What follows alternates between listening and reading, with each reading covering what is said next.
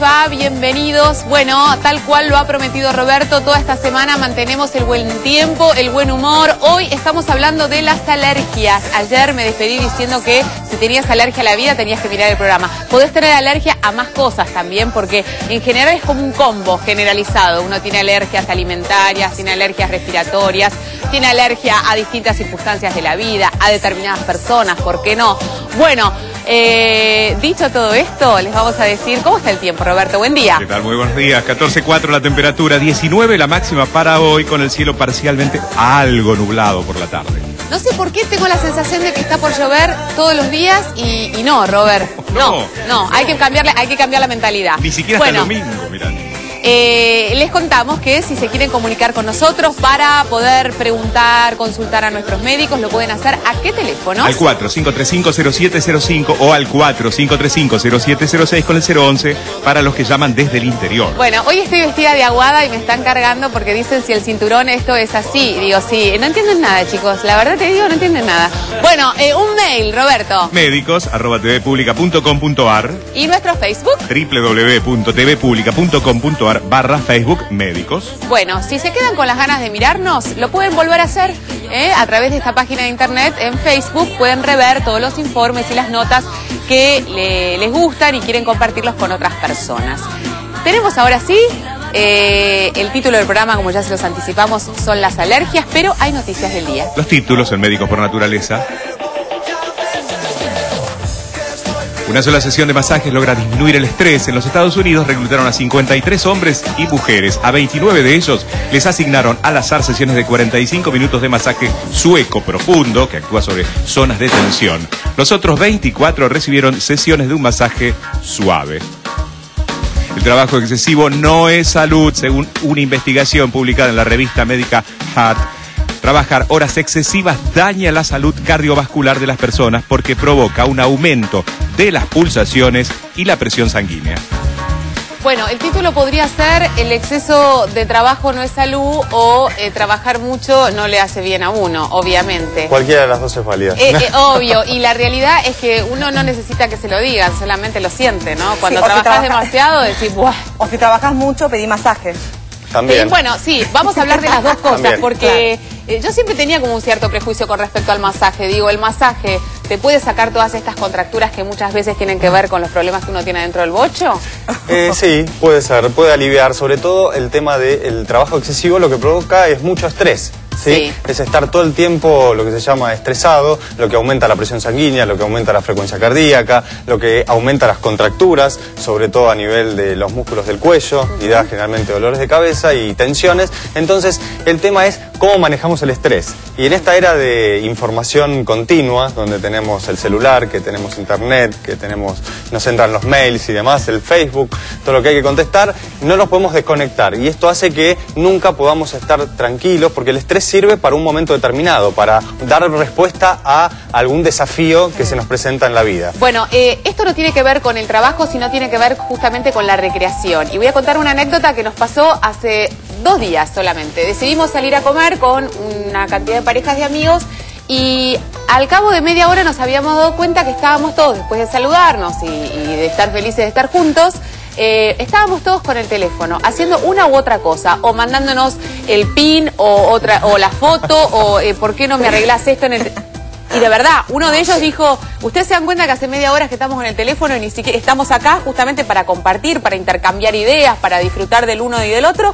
Y fue bastante depresivo, o sea, fue tomar conciencia de que muchas veces la tecnología te, te sumerge en un mundo de desconexión, justamente. Sí, de el avance tecnológico hace, trae muchos beneficios, pero trae esto que es patológico ya. Cuando nos sentamos a cenar en casa, cuando vamos con amigos, cuando decimos, bueno, nos vamos a juntar, nos juntamos para no estar. En realidad estamos como so- eh, fantasmas de nuestra vida. O sea, te mando un mail para contarte cómo estoy mientras que te tengo enfrente y estoy con mi celular. Es tremendo, hay que tener mucho cuidado con esto porque la, la- el avance tecnológico tiene su limitación. Exacto. Así No, que los masajes sirven para aliviar el estrés y lo mismo la actividad física. Claro. El tratar de correr, hacer algún deporte, andar en bicicleta, aunque sea salir a caminar, despeja la mente y nos desconecta. Bueno, eh, hoy hablamos de las alergias que realmente son muchas, preocupan mucho y afectan a una gran cantidad de gente, eh, cada vez más. la polución, los hábitos de vida, obviamente han ido incrementando la cantidad de personas que sufren de distintos tipos de alergia. Cuando hablamos de alergia puede ser alergia alimentaria, puede ser alergia respiratoria, puede ser alergia a la vida, como decimos, que tiene que ver con aquellos problemas psicológicos que nos afectan mucho y que nos limitan y nos invalidan en nuestro día a día. De todo esto estaremos hablando en el día de hoy. Pero fuimos a consultar para definir lo que es una alergia y cómo se detecta a Wenceslao Sánchez de la Vega, es doctor Yami, ¿no? El doctor Wenceslao Sánchez de la Vega, eh, de Fundaler, que es alergólogo, y esto nos decía. La alergia es una reacción muy especial del organismo que en el fondo técnicamente significa una alteración del sistema inmunológico. Es decir, la persona es alérgica a ciertas sustancias que son inocuas. Esto quiere decir que no son agresivas para el organismo, pero aquellos pacientes que son alérgicos sí, son sensibles a estos elementos y le provocan lo que llamamos reacción alérgica. ¿Dónde se manifiestan principalmente las reacciones alérgicas? Fundamentalmente a nivel del aparato respiratorio y de la piel. Y después hay otra reacción que es sumamente importante, que es grave, muy grave, que puede presentarse en una persona que es lo que llamamos el shock anafiláctico. El shock anafiláctico es una reacción que puede poner en peligro la vida de la persona. ¿Qué precauciones puede tener el paciente cuando tiene esta molestia, sobre todo en la primavera? Bueno, si son los pólenes, que son elementos que están en ambiente y no lo puede evitar, digamos, bueno, en la casa tener la ventana cerrada, por ejemplo, lo posible, ¿no es cierto? Si sale afuera, tener unos, unos anteojos que tengan unas, que sean bien adaptables y que tengan unas patillas bien gruesas ¿cierto? para impedir el contacto del polen con la nariz o con los ojos. Porque no solamente la nariz, estos pólenes durante la época provocan también molestias a nivel, eh, a nivel ocular. Está la, la, la, picazón y, la secreción lagrimal. Entonces, para todo esto, si tiene que viajar en estas condiciones en el auto, cerrar las ventanillas y poner el aire acondicionado. La gente sale también al campo al campo, se sienta en el pasto y la gente que es sensible al pasto hoy empieza con toda la molestia que ya dijimos. Los estornudos, la secreción, la picazón, la obstrucción y todo esto, ¿cierto? Y otra cosa también importante en la época del verano y de la primavera, la aparición de los insectos. Hay gente que es muy sensible a la picadura de las abejas, de las avispas, de los mosquitos. ¿Qué ocurre también en la primavera y en el verano? la concurrencia de las piletas. Personas que se ponen la malla, por supuesto, y empiezan a sentir picazón en la piel. ¿Esto a qué se debe? Que la tintura de las mallas, o mejor dicho, también a veces se agrega la textura de las mallas, que son de material sintético, hay muchas personas que son reactivas alérgicamente a la fibra sintética. Lo más importante en la enfermedad alérgica, como en toda enfermedad, cuando uno conoce la causa, evitar esa causa. De modo que la, primera medida es la prevención. Y en segundo lugar, la medicación farmacológica. Y cuando se averigua cuál es realmente el factor causante, la vacunoterapia. O bien hoy día también existe otro método que es muy cómodo, sobre todo en los niños, que es la vacunoterapia vía sublingual. Entonces, ¿qué hay que hacer con el anafiláctico? Con el sintemal, ¿cierto? Inmediatamente recurrir al médico a la urgencia, esto es inmediato, porque acá los segundos son importantísimos para, ¿no cierto?, eh, revertir esa situación de alguna manera. La primera medida para la presencia de anafiláctico es la adrenalina. La adrenalina es un medicamento, ¿no es cierto?, que está en disposición en las guardias, ¿cierto? En los médicos, en los médicos especialistas también lo, tienen para, para estas circunstancias. En segundo lugar, un corticoide y en tercer lugar, un antihistamínico. Bueno, la idea es revertir esta situación de malestar, que es lo que genera eh, la alergia.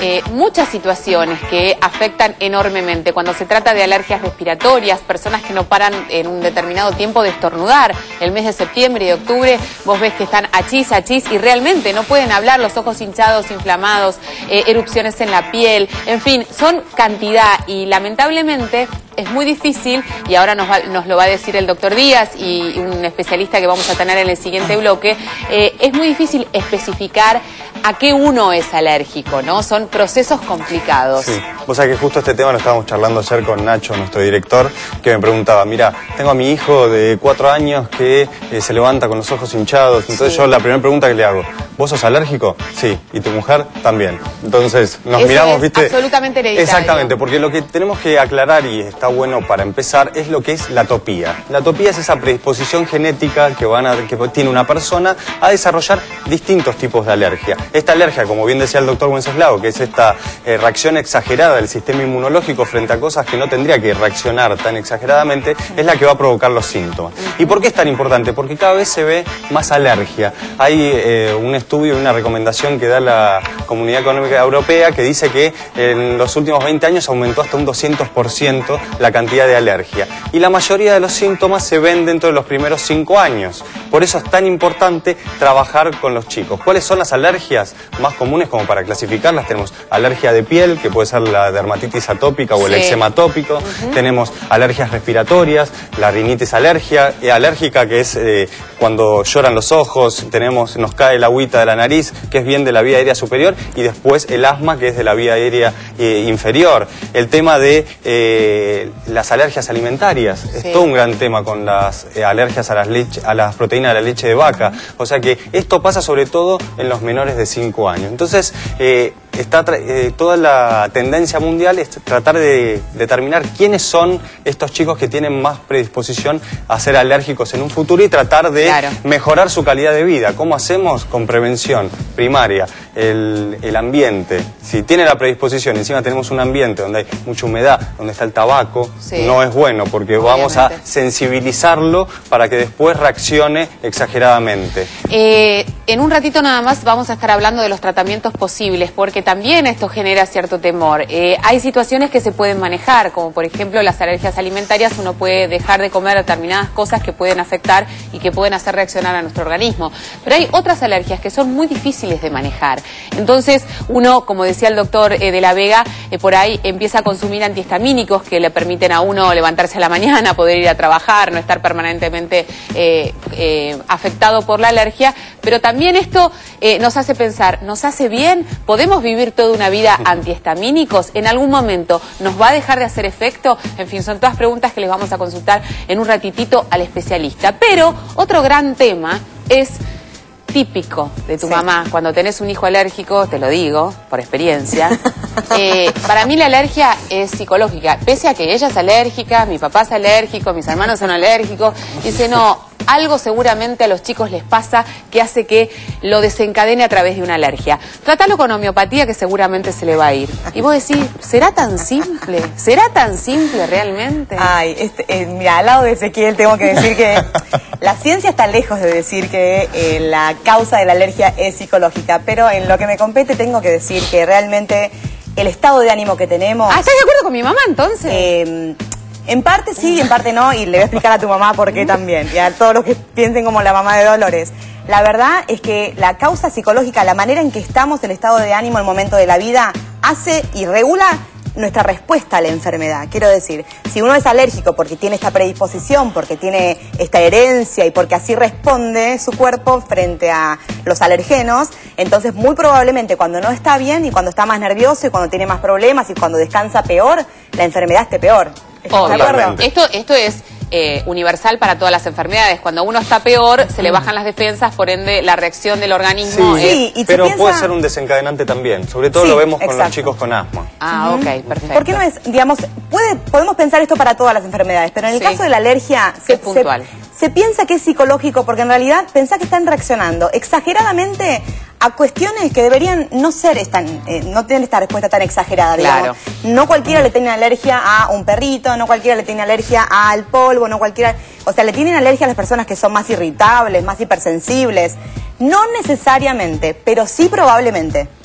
Ok, está bien. O sea que debiera ser tratado de manera conjunta. Conjunta, o sea, porque averiguar si efectivamente esto tiene que ver con algo orgánico o puede estar dando cuenta de una situación que responde a algún aspecto psicológico. Exactamente, porque muchas veces, muchas veces esto sucede de esta manera. Y a veces cuando calmamos desde la parte psicológica y bajamos el estrés, también respondemos a un mundo no de una manera tan amenazante, digamos.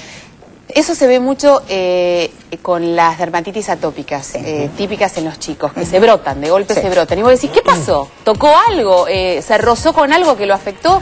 ¿O realmente está angustiado, está nervioso? Bueno, es, es muy difícil saberlo. Hay muchas teorías de por qué qué es lo que causa la alergia. Está la teoría de la higiene, donde Sí. se veía en un principio que los chicos que tenían mayor contacto con infecciones, peor control de la higiene, eh, reaccionaban menos, porque ya el ambiente era así, entonces el sistema inmunológico reaccionaba menos. Esto es una muy buena teoría, pero tampoco explica por qué en chicos donde tienen pobres condiciones de higiene, igual se ven eh, dermatitis atópica, se ven Claro. casos de asma y demás. O sea que todavía sigue siendo una gran incógnita y todavía no se ha podido develar cuál es la causa, si es dentro de la panza de la mamá, si es cuando nacen con la predisposición genética, más el ambiente. La verdad es que no se sabe bien, pero Bueno, y hay situaciones que no se pueden desconocer. En general, eh, el primer ataque de asma de un chico, si uno lo puede relacionar con algo que ha sucedido particularmente en su entorno familiar, en su vida, en su medio ambiente, eh, uno lo puede identificar. O sea que hay una relación directa. En este caso, por lo menos, es como más palpable. Ningún cuerpo reacciona como no puede reaccionar. No somos lo que queremos, somos lo que podemos ser. Quiero decir, si uno tiene predisposición para el asma, probablemente si tiene un problema responda con asma. Si uno tiene predisposición a la alergia, probablemente responda con una alergia cuando tiene un inconveniente psicológico. Entonces no somos lo que no podemos. Tenemos una base que nos predispone y facilita que eso pueda desencadenarse de esa manera y no de otra. Bueno, eh, están llegando una cantidad de mensajes impresionantes. Enseguida, después de la pausa, vamos a estar eh, respondiendo a cada uno de ellos. Eh, no se vayan, va a estar un especialista con nosotros en el próximo bloque contándonos cuáles son eh, estos medios de diagnóstico hoy por hoy muy pero muy eficaces para poder identificar los distintos tipos de alergia y cuáles son los tratamientos posibles, que es lo más importante. Hacemos pausa, ya estamos de vuelta, no se vayan.